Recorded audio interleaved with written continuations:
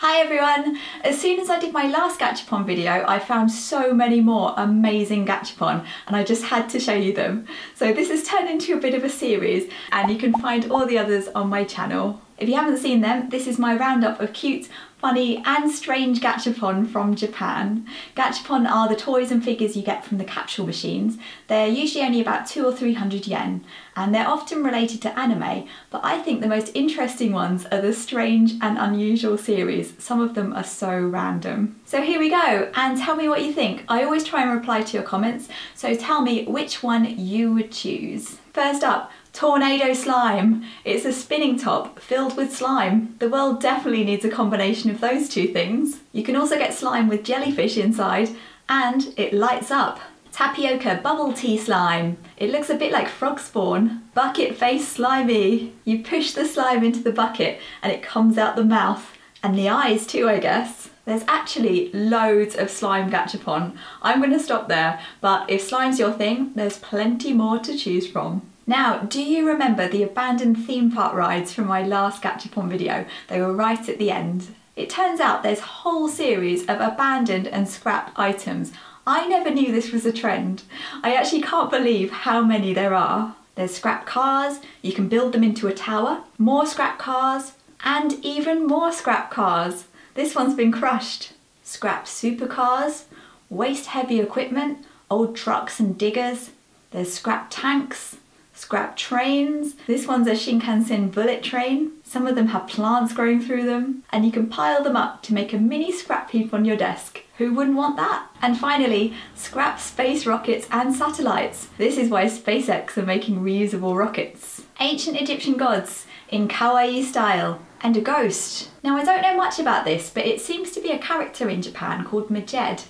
Now the main character may look like someone in a cheap ghost costume with a sheet over their head, but it's actually a real ancient Egyptian god, and it looks just like him. I am liking the combination of kawaii with ancient Egypt. You see a lot of the same sorts of things sometimes in kawaii, and this is something really different. I think they go together really well. And if you like cute things, have a look at my designs on cakeswithfaces.co.uk. These are my dresses. There's Starry Night, that's the one I'm wearing today. It's got cake themed star constellations. There's Cute Explosion. I love wearing this one, it's so colourful. And my Katoos dress with cat tattoos. And my magical Kyoto tunics with a pattern inspired by Japan. There's also t-shirts, hoodies and lots of other things as well. Back to the gachapon. Lapel mics, so you can pretend you're a TV presenter. Wrestlers in bridge position. You can stack them to make a tower of wrestlers. And it doesn't matter if you get duplicates, you can just add them to your tower. I got these stacking figures from Akihabara. They're from a certain magical index. I just love the looks on their faces. Eggs that are like transformers. They turn into animals and dinosaurs. And the most egg-shaped giraffe you've ever seen. Squishy pizza slices, mochi mochi pizza squeeze. Collect them all to make a whole pizza. There's loads of Gachapon squishies. I'll just show you this one more. Squishy noodles in their packets. There's soba, ramen, udon, mochi mochi. Light up drinks mugs. It says parody mug light. They're tiny drinks and they're also torches. But I think the funniest thing about these is they're not the official brands.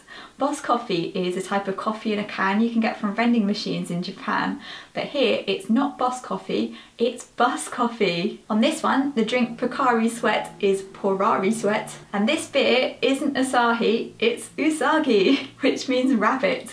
There's also sweets and snacks as torches, and they look just like the real thing. This one is one of my favourite Japanese snacks, takenoko no sato. They're little biscuits covered in chocolate. They're a bit like kinoko no yama if you've ever had them. Thomas the Tank Engine being dangled by a crane. This does seem a bit risky for Thomas. And what is the expression on the crane's face?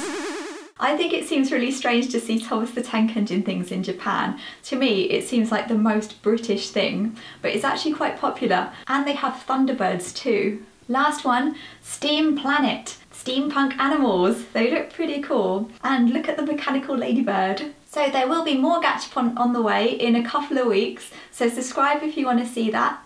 And I'm always posting things about Japan on Twitter, Facebook and Instagram. I'm Cakes with Faces on all of them. So I'll see you soon. Bye bye!